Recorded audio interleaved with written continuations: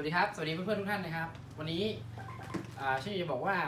MB08 ที่เพื่อนๆรออยู่มาแล้วนะครับ ก็มาทั้ง 3 สีเลยนะครับ ก็หายไปประมาณ 2 เดือน 2 เดือนเศษกับ 3 เดือนที่ MB08 ยี่ห้อเวลนะครับตัวขายดีเนี่ย หน้าตาเหมือน MB01 แต่ภาพท้ายได้นะฮะเพิ่งกลับเข้ามาอีกครั้งหนึ่งวันนี้ผมจะพามาเปิดกล่องใหม่ดูทั้ง 3 ตัวเลยนะครับว่า ล็อตที่2สำหรับปีวันที่18นี้ได้อะไรมาบ้าง ผมก็ไม่รู้ว่ามีสีอะไรบ้างแต่ผมรู้ว่าอ่านี่มันจะเขียนข้างกล่องว่า MB08 ดำ MB08 เขียวและนี่ MB18 ทรายนะครับอันนี้ใหม่แกะกล่องนะครับพอดีเดี๋ยวผมจะต้องเดินทางไปแข่งที่กรุงเทพแล้วนะครับ แข่งปืนบีกันก็จะต้องเอาปืนโชว์นะครับเอาปืนโชว์โชว์ที่ร้านนะครับในสต็อกมีอีกนะครับ แต่วันนี้เราเอามาแกะกล่องเปิดกล่องใหม่ดูกันแค่สามตัวนะครับ อ่านะครับกล่อง ที่หนึ่งสีดำนะครับ สีดำนะ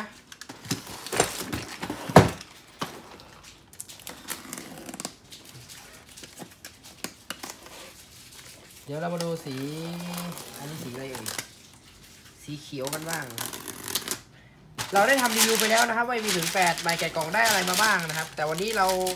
มาอัพโหลดคลิปวิดีโอนี้ไปพร้อมๆกันอีกคลิปวิดีโอหนึ่งว่าเวลาเขาวางเรียงกันสามสีมันจะ สวยแค่ไหนนะครับ อ่านี่อันนี้สีเขียวนะครับเหมือนเดิมครับได้สปริงนะครับเนี่ยฮะมาเจสปริง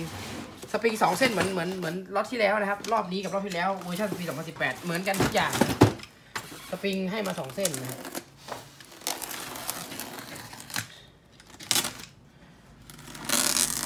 ถ้าเป็น MB 0 1 C ลายทางตัวนั้นจะให้มาเส้นเดียวอยู่นะครับ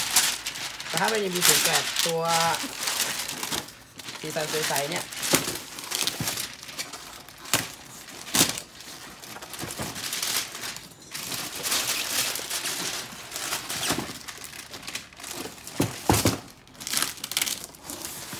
อืมโอ้โหเป็นไงบ้างครับหล่อไหมครับ ก็อย่างที่เพื่อนๆเห็นครับดำเขียวทราย ไม่แกะกองได้เหมือนกันสปริงครับสปริงแต่งแรงนะครับ ก็คือโรงงานเขาให้มาอย่างละเส้นนะครับ สปริงเส้นแรกที่อยู่ในปืนแรงไม่เกิน 500 ประมาณ 450 พอเปลี่ยนสปริงเส้นที่ 2 ก็จะอัพความแรงขึ้นมาที่ประมาณ 550 นะครับ 550 ฟุตปอนด์เปอร์เซ็นต์ส่วนอันนี้เป็นสีเขียวสีเขียวสีทรายแม็กเวลาถอดมาแม็กก็จะได้แม็กหนึ่งตัวนะครับเขาจะใส่มาในกล่องเขาจะมาอย่างนี้เลยนะครับอ่าแล้วก็ อันนี้สีดำนะครับไม่รู้นะว่าเพื่อนๆชอบสีไหนกันนะอะอาจจะมีสักตัวที่เข้าตากรรมการก็เป็นได้นะครับ เราประกอบสีในนี้อะประกอบสีทรายก่อนเนาะอันดับแรกก็ปืนนะครับ แล้วก็ ชุดยิงนะครับชุดยิง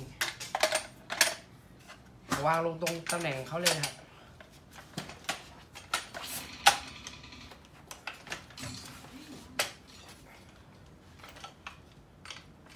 โอเค มีมาแล้วนะครับ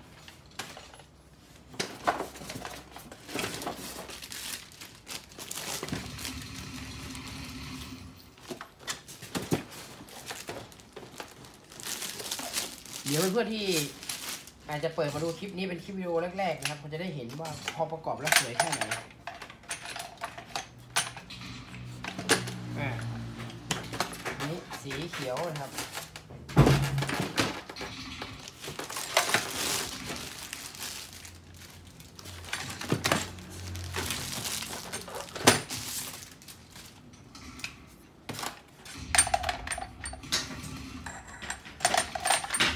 อ่าเป็นไงครับ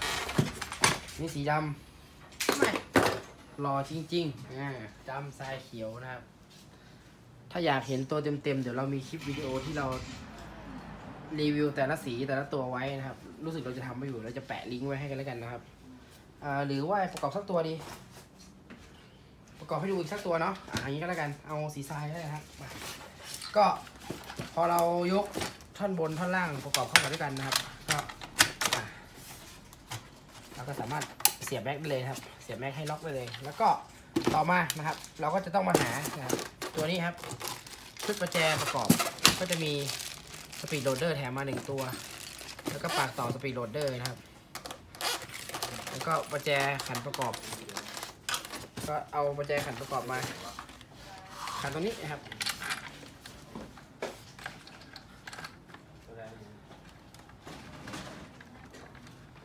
อย่าขันตึงมือมากนะครับ เดี๋ยวจะเอาออกยากเอาแค่แบบ แบบจะเรียกว่าอะไรตึงมือไม่ไม่ไม่ต้องอัดนะครับ ไม่ต้องอัดแค่ตึงมือพอละไม่ต้องอัดน็อตมากนะครับอ่าโอเคประมาณนี้นะครับ เราถอดมาประกอบปุ๊บเราได้ขาแล้วก็เอาขาทรายมาก่อนขาทรายก็จะแพ็คซีนมาอย่างนี้นะครับ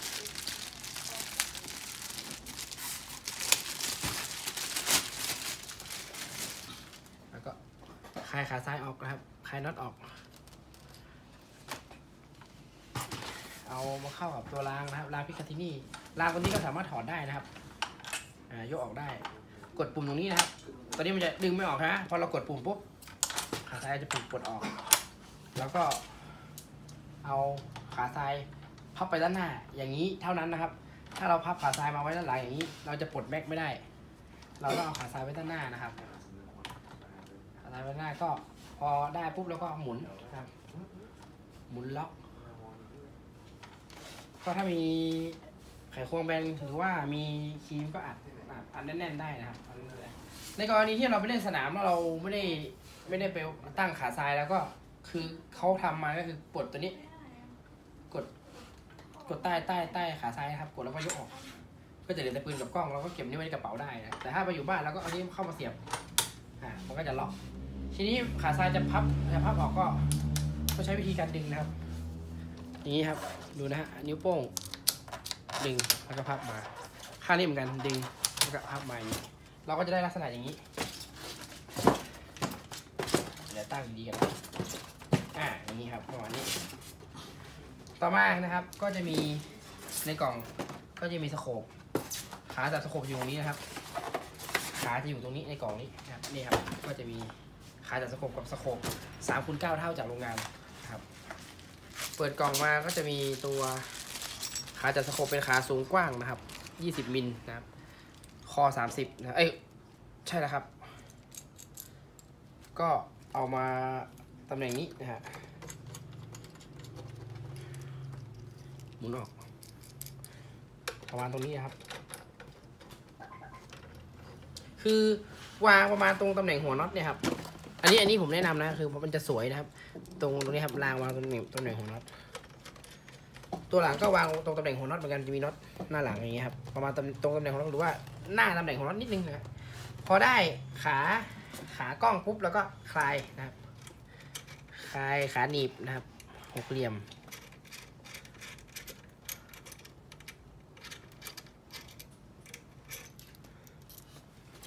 คลายหกเหลี่ยมออกนะฮะ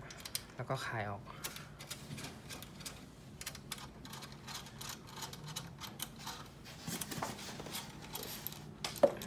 ระวังน็อตหลุดนะครับ อันนี้เอามาปุ๊บนะครับยังไงต่อครับก็เอาสโคปมา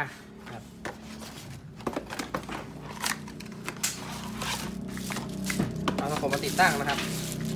นี่วางลงไปเลยนะครับ แล้วเอาขาหนีบล็อกนี่ใส่กับที่เก่า ก็จะเป็นลักษณะว่าเราประกอบพร้อมยิงนะครับ นี่นะไม่ยากนะครับ ถ้าทำตามผมนี่ง่ายมากนะครับ ประกอบปืนแป๊บเดียว พวกเราอาจจะประกอบทุกวันนะแต่มีเราก็ทีนี้ อยากอยากให้ปรับระดับร่องไหลเองตามระดับสายตาของเจ้าของปืนนะครับถ้าเอาไปถ้าเราขันตอนนี้อย่าเพิ่งอัดแน่นนะครับ เราขันเข้าไปปุ๊บเราเราเราจะอัดแน่นก็ได้ครับ มันจะมีตัวเทปให้อัดอยู่ คืออัดหกเหลี่ยมเดี๋ยวตัวเทปมันจะมันจะรัดเอง แต่ทีนี้เราอย่างนี้ใช่ไหมครับ เรายังสามารถเลื่อนร่องไหล ก็คือเป็นลักษณะว่า เรายกขึ้นมาปุ๊บแล้วเราก็ดูว่าไหลไหลของเราเนี่ย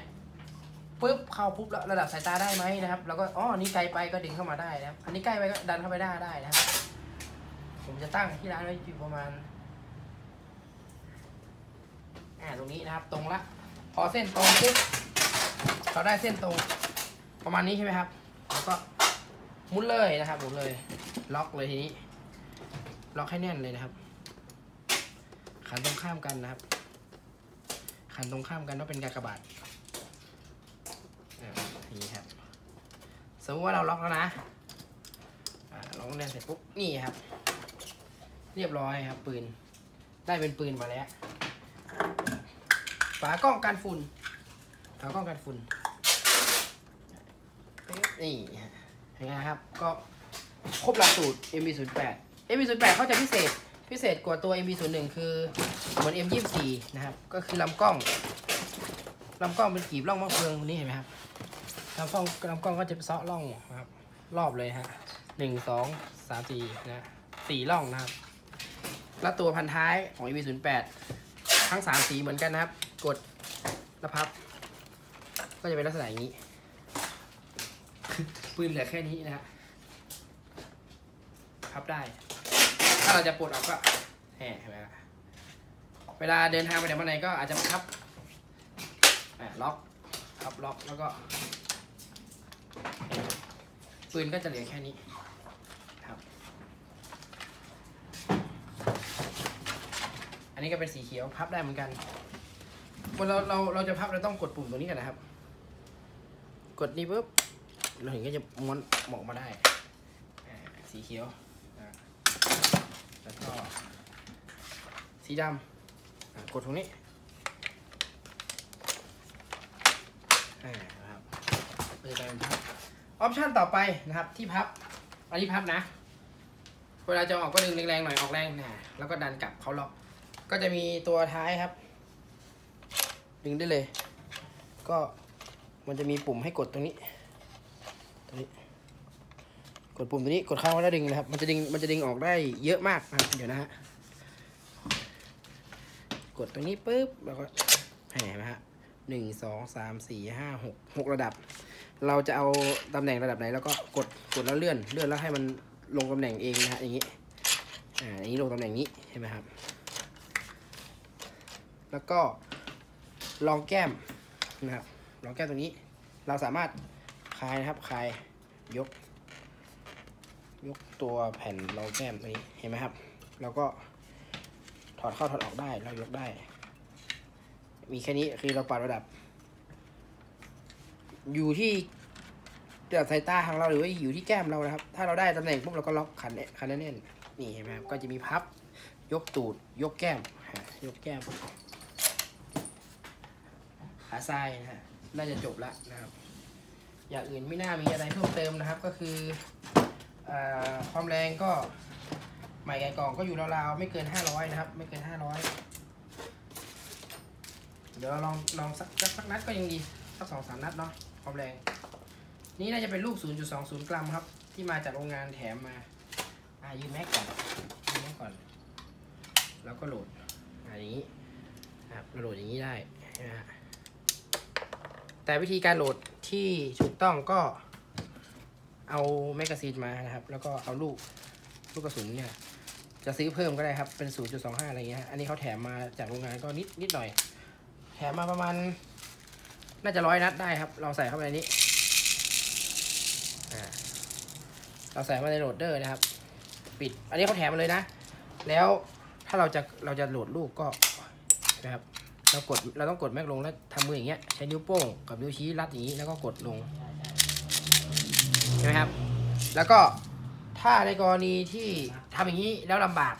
มีปากเกาะตัวนี้นะครับ ปากโหลดลูกสังเกตดูตัวนี้มันจะ curve curve โค้งๆเอามาอย่างนี้นะครับ เอามาสวมเข้าด้วยกันอ่าเอามาสวมเข้าด้วยกันอย่างนี้ มันจะมีล็อกของมันอยู่เราขยับขยับคือตรงๆมันจะไม่ลงนะครับ อ่าเราจะต้องเอียง 45 องศานิดนึงแล้วก็เอามาล็อกเนี่ยมันจะมีขาล็อกอยู่ข้างๆนี้ มันจะเป็นลักษณะอย่างนี้ ถ้าเกิดบางคนจะใช้ไม่ได้ใช้กับปืนสั้นใช้กับ sniper อย่างเดียวเอากาวร้อนหยอดก็ได้นะครับ หรือสกอตเทปรัดก็ได้ แต่ของผมนี่ทำให้ดูก่อนว่าอย่างนี้ปุ๊บนะครับ อย่างนี้นะจับอย่างนี้นะ เอาปากตัวนี้มากดเข้ากับตัวนี้เห็นไหมครับ มันจะเป็นล็อกของมันเลย กดปุ๊บแล้วไงต่อครับเดี๋ยวเพื่อนสังเกตอุ้ยเอาใหม่เอาใหม่เอาใหม่อย่างนี้นะ ประกอบปุ๊บพอดีไม่ได้รัดสกอต เทปนะครับ ประกอบปุ๊บนะครับ แล้วเราก็จับอย่างนี้จับอย่างนี้กดใช่ไหมครับถ้าสังเกตตรงนี้นะ เห็นไหมครับลูกมันจะวิ่งลงในหลอด แต่ถ้ากดไม่ลงนี้คือเต็มละสุดละนะครับนี่คือวิธีการใช้โหลดเดอร์นะ มีพี่ๆถามมาว่า ใช้ยังไงได้มาแล้วใช้ไม่เป็น นึกได้พอดีก็เติมแต่งเข้าไปในในในคลิปนี้ด้วยนะครับ ทีนี้ยังไงครับพร้อมยิงแล้วใช่ไหมอ่าเสียบ magazine magazine ขึ้นคันรั้งให้ฮะ แล้วก็ยิง นี่มันติด safe อยู่นะเปี้ยงเดี๋ยวเราดูใหม่แกะกล่องกันว่าแรงเท่าไหร่ คืออันที่เดิมๆนะ ผมไม่ได้เปลี่ยนสปริงนะครับ แต่ว่าถ้าถ้าถ้าดูจากเดิมๆเนี่ย 450 ได้อยู่นะครับไม่เกิน 450 ครับ 423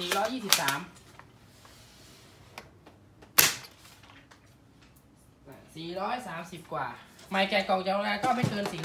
450 ถ้าเปลี่ยนสปริงที่มาจากในกล่องที่แถมมาอีก 500 บวกนะฮะจำไว้เลยว่า 500 บวก ผมไม่ได้ทำให้ดูก็แล้วกันนะมันคลิปอาจจะดูยาวไป ลองกลับไปย้อนดูคลิปที่มันเป็นลิงก์ของ AB08 ที่ผมรีวิวไปแกะกล่อง แล้วก็ตัวเปลี่ยนสปริงไว้เราทำมาอยู่นะครับ เชื่อที่ร้านนะครับที่ร้านจริงใจอยู่แล้ว คลิปวิดีโอก็ถ้าเพื่อนๆติดตามช anel YouTube ที่ร้านจะรู้ดีว่าที่ร้านไม่ตัดต่อ ของผมใส่สดอย่างเดียว ไม่มีการตัดคลิปตัดเสียงนะครับ เรา เราเหมือนกับเราคุยกันนะฮะ เราคุยกันเหมือนลูกค้ากับผมคุยกัน คุยกันแบบธรรมชาติธรรมชาติ เราจะใส่กันสดๆเลยนะครับ หลังจากคลิปนี้นะครับ ก็ฝากเพื่อนๆ กดไลค์ กดแชร์ กด Subscribe ให้ทางทีมงานที่ร้าน M4 พิพิการจังหวัดลำปางด้วยนะครับ ที่สำคัญเพื่อนๆอย่าลืมติดกระดิ่งและติดดาวไว้ด้วยครับ เวลาเราอัพคลิปวิดีโอใหม่เพื่อนๆจะได้เห็นก่อน วันนี้ช่างยนต์พิการลำปางและร้าน M4 พิพิการลำปางก็ขอตัวลาไปก่อนแล้วกับ MP08 สีดำสีทรายสีทรายนะครับแล้วก็สีเขียว ฝากไว้ด้วยพิจารณาด้วยนะครับสำหรับปีปืนปีเวอร์ชันใหม่นี้นะครับที่เพิ่งเข้ามาล็อตที่ 2 รอบที่2 MB08 นะครับ โอเคครับผม ขอบคุณครับที่ติดตามกัน สวัสดีครับ